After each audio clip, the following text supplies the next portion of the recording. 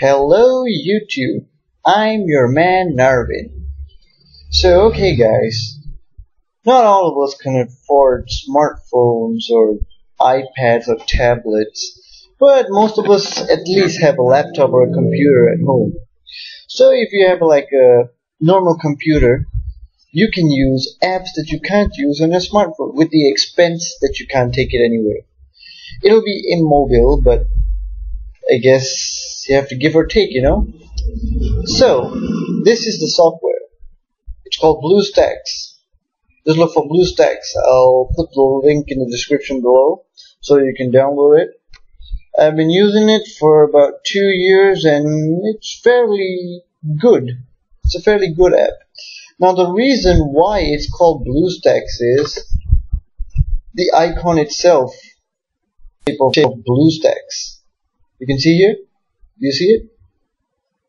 Bunch of stacks. It's not actually blue. It consists of green, yellow, red. I don't think. Yeah, the blue one is is at the bottom side. The only catch is it takes a bit longer to start up, and you have problems to like transfer pictures and stuff. But I'll make another video and I'll, and I'll show you how to transfer the pictures there. We'll keep showing you this update, but don't update it, please. If you update it, it's going to become lousy. Very, very lousy. I tried it. I had to revert it back. And there. You can see WhatsApp is there and Kik is there. But sadly, I do not use other apps. They, they, they gave a lot of default apps like Evernote. And then uh, some of them I already removed because they were hogging up my space because this this app is already kind of slow if you never use it, you you won't you know you know. And my laptop is not that good anyway. So fairly, with this BlueStacks, it'll solve your problems if you can't afford a smartphone or you're too lazy to type on the phone and you prefer typing on the laptop. Just imagine WhatsApp, KakaoTalk, Line, BeeTalk, and whatever. The only thing that doesn't work is Instagram. I don't know why. I tried it so many times.